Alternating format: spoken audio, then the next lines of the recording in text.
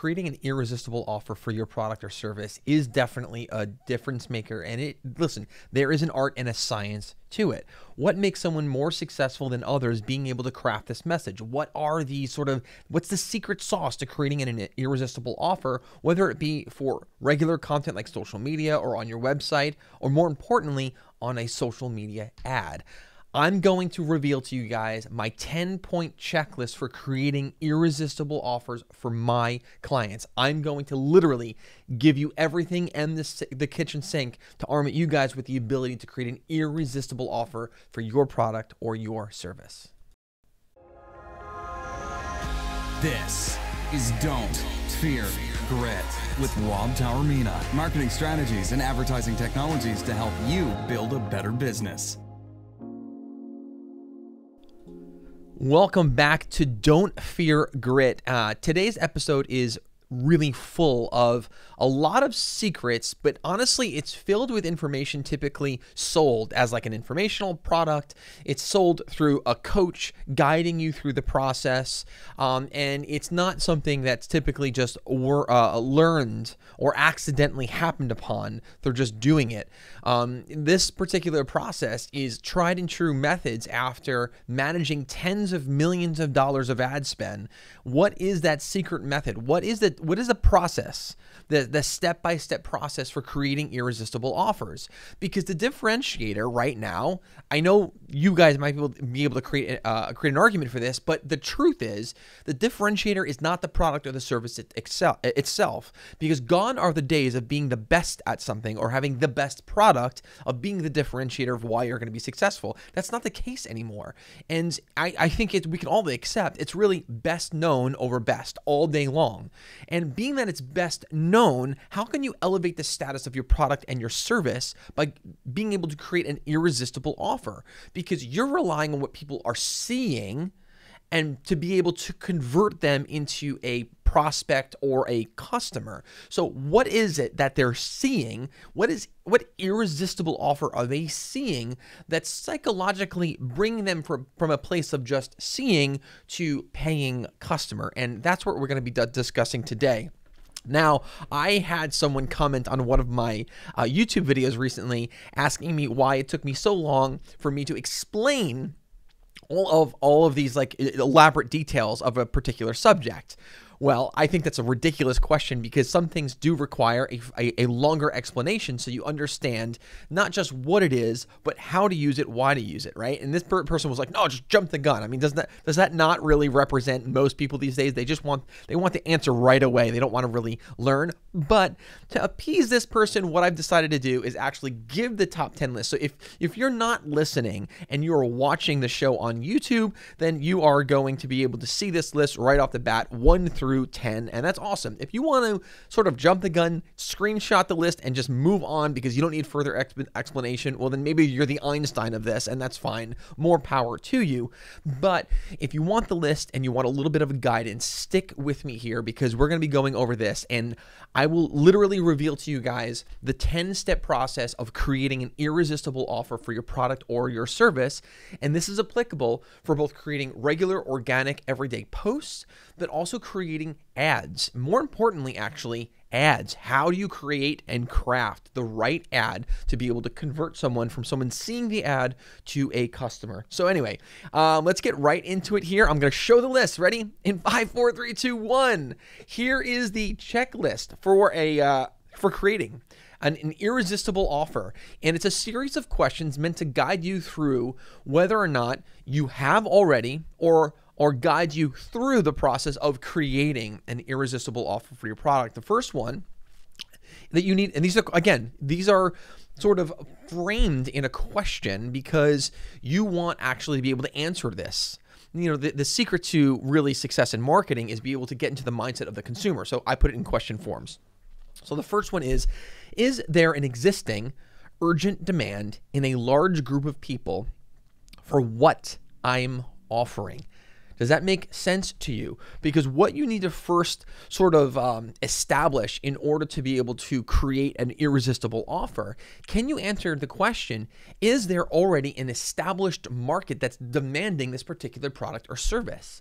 Or have you come up with something that someone does not know about yet? There is no comparable product, no one is using it, or no one thinks they need it yet, because that answer actually will take you down a completely different path on how to introduce it to the market, right? The introduction to the market, and then there's advertising a product and service that people already know, right? So you need to be able to answer that particular question. And that first one is Is there an existing urgent demand in a large group, a large market of people for what you are going to be offering? The second one, does my product or service fulfill on this demand in a unique way? It's not just a matter of whether or not now you have a product and you can identify a market, but if especially if there, it's a market where there's lots of competition, meaning there's a lot of people offering the same product or the same service as you, what's your differentiator? How are you going to now present this in a unique way by establishing this, by answering this question? It's going to give you an edge right out of the starting gate. Number three, what are the emotions the prospect is experiencing right now? Now, if you're not going to acknowledge that emotions are part of the sales journey, then you're already sort of lost. You have to understand emotionally where these people are so that you can actually respond at that emotional level. And if you can do that, if you can solve a problem on someone's emotional level, you're not now only making the sale in the moment, you're going to create a long term customer. Uh, number four, what are all of the reasons why objections? Um, what are, I'm sorry, what are all of the reasons why, meaning objections, someone would have to not buy my offer. This one is a big one, and I and I do this early on in uh, um, when I when I do my sort of discovery, my research and discovery phase for either new clients or new products or services that clients want to bring to market. We make a list and we exhaust this list. Like we go into detail, we sit down, we have a table discussion. What are all of the objections? Because part of being a great salesperson is being able to predict those objections and actually handle the objections, give the solutions right up front so you make the answer an easy yes and you don't give the customer an opportunity over and over again to give you an easy no. Makes sense, right? Next on our list, and by the way, you might notice that I'm going through this quickly because I actually want you guys to be able to get this list and immediately get to work because this is probably one of, if not the most valuable podcast episodes I've ever done on Don't Fear Grit. Listen, we've we've sat down with some incredible entrepreneurs and thought leaders over the years, and we've talked about um, very specific aspects of what made them successful, and they've been amazing, amazing shows. The last last month in January, we talked about various aspects of leadership and marketing. Amazing, right? This is the first time ever that I am focusing on really unveiling sort of a a way that we but also many other really successful agencies handle this aspect of marketing is how do you create that irresistible offer because it's one thing to have the product one thing to have the service but how do you communicate it in such a way where you can influence people to a purchasing decision i'm literally revealing to you guys um, the 10 step process that goes through creating that irresistible offer. So if you guys are, I'm not, listen, I, I hate to be so direct, I, I like I'm about to be right now, but honestly, if you were super smart right now, you would be putting pen to paper and writing down every single one of these lists. Every single thing that I'm putting on this list, you should be creating a carbon copy for yourself. And every single time that you or your team are creating any type of marketing material and you're relying on the, the ability to influence that person to a purchasing decision, you need to run that marketing project through the filter of this checklist. I am literally giving you guys something incredibly valuable that typically, honestly, coaches and business coaches and leadership uh, you know classes and seminars and workshops and online courses and uh, conventions like they people pay big money to get access to this stuff, and I'm actually giving it away to you guys for free in this episode because hopefully it aligns with something that I've said almost every single show, which I genuinely believe that the tide rises for all ships. The more everyone's successful, the more I can help you guys be successful, then the tide rises for everyone, then everyone's successful, right? Um, so let's get back to this amazing list here. Number five is what are all the outcomes someone will have when they get what it is that I am offering. Now, you want to be able to make this list because one of the great things uh, about marketing, especially if you're going to be doing like a video format or something like that, is if you can predict for people. Now, remember earlier I said objections, but if you can also predict how it's going to make them feel, if you can predict the, the the problems that this is going to be the solution for, if you can predict all of the wonderful results and benefits and outcomes that people are going to have, people, then what you could do is you can help people see themselves using that product or service a little bit more, right? You need to hold, don't ever make the assumption that people will necessarily connect every single dot. Sometimes you got to hold their hand through the entire process and paint the picture for them. And in this case, by developing this list, it's arming you with incredible asset of, of these predictable possible outcomes that you can actually include as part of your marketing materials, which will help in the conversion of that particular uh, potential customer. Um, the next one is there or can we make a limit to the offer? Now, sometimes product or services, you know, uh, the owner of that particular uh, product or service, they don't want to put a limit. They just want to sell as many as they possibly can, and, that, and that's fine. But are, is there a way that you can create a limit?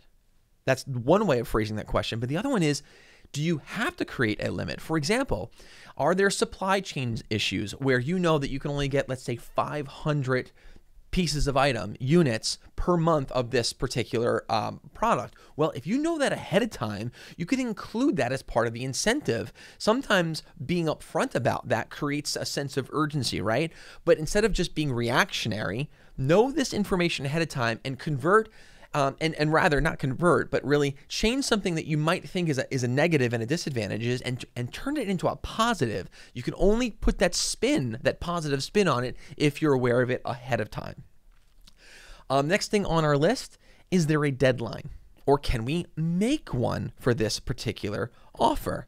Now, deadlines uh, can be you can fill in the blank right? Some some people some product or services have no deadlines associated with it. Some of them are. Some of them are time sensitive. Some of them are only going to be released and available seasonally. Some of them are directly related let's just say to like the super bowl event. Once the super bowl's over that's a deadline then your particular maybe product or service becomes irrelevant. So that put, puts a deadline and that also puts a sense of urgency on the marketing team to get it out there but also creates a sense of urgency for the public. You're informing them. You're informing them saying, hey, this amazing thing is available, but it's only available until I don't know, March 1st because of this reason. So clarity also helps with transaction. Next on our list, how can we remove risk to the prospect of taking us up on this order? How is it that by purchasing by taking advantage of this promotion, by um, following through on purchasing the product or, or, or service, how does that help the consumer? Right? Sometimes it's just people buy out of passion or want, right? Or, or desire. But does the purchase of this particular product or service solve a problem? So so identify that for them and to help them and you and communicate. Remember what I said earlier. Sometimes you have to just paint the entire picture for the individual in order for them to see and have proper vision of what it is that they're looking at. And in this case, does in fact uh, you have to ask that that that question is uh, can you remove risk for the prospect for this potential customer or client? Who is going to be taking you up on the offer that you are presenting. Number nine, we're getting to the uh, very end here. Number nine on the list is Does my value proposition clearly demonstrate a 10x or more return on investment in my offer? Remember, I'm going to say that one more time. For those that are listening, now, if you're watching on YouTube, you could just take the screenshot, right? But for those that are listening, I'm going to repeat that for you guys.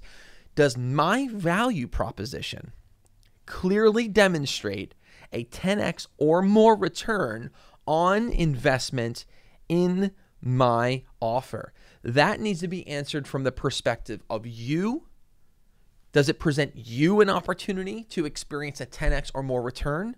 Then you need to also answer the question on the on the from the perspective of the client customer who is purchasing your product or service. Does it present them an opportunity for a 10x or more return on their investment. Remember, an ROI is not only monetary, right? So you can identify what the ROI is for your consumer in, with regards to that perspective, right? The question from that perspective.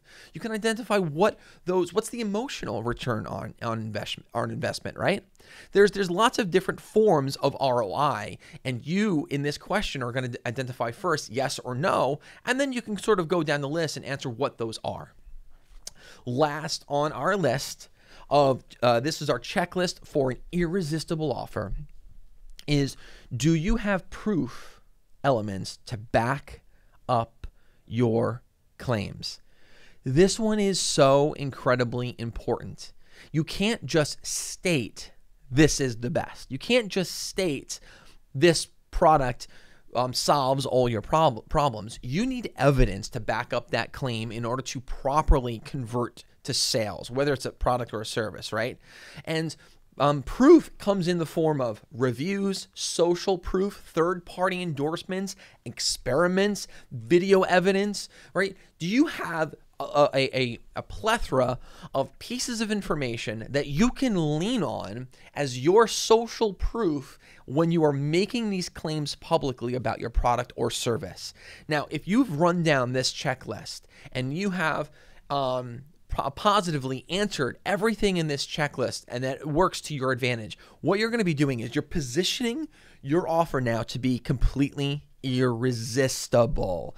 And if we look up even the definition of irresistible and then we run that through our answers, we understand what, what we're getting at here is what you're doing is you're setting up your particular offer to the customer in such a way you're making it almost impossible for them to say no because it's literally removing all their risk. It's solving all their problems, both in the physical and the emotional world. It's identifying now also the return on investment for them as well. It's going to help you scale your business. It's going to create more opportunities. It's doing all these incredible, incredible things. And once you frame your offer in this way, right, we're going to package it and frame it and put a bow on it and present it.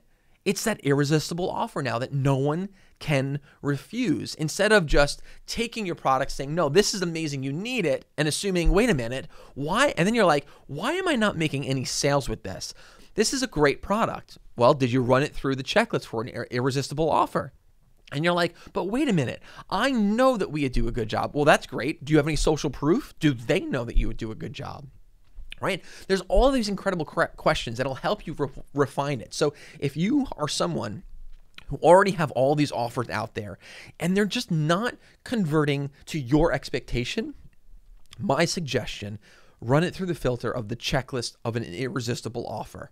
And you will find places of your uh, of your offer that you can optimize and you can improve and you are actually going to see better results from it. Now, if you're someone who's yet to do it and was like, "Oh my god, I'm overwhelmed, um, it's a daunting task," or you put it off because maybe you're just lazy, well, now's the time to do it because if you really want to be able to scale your business, you also need to become really good at creating irresistible offers for what it is that you do, whether it be selling a product or offering a service. And this particular episode, bookmark it.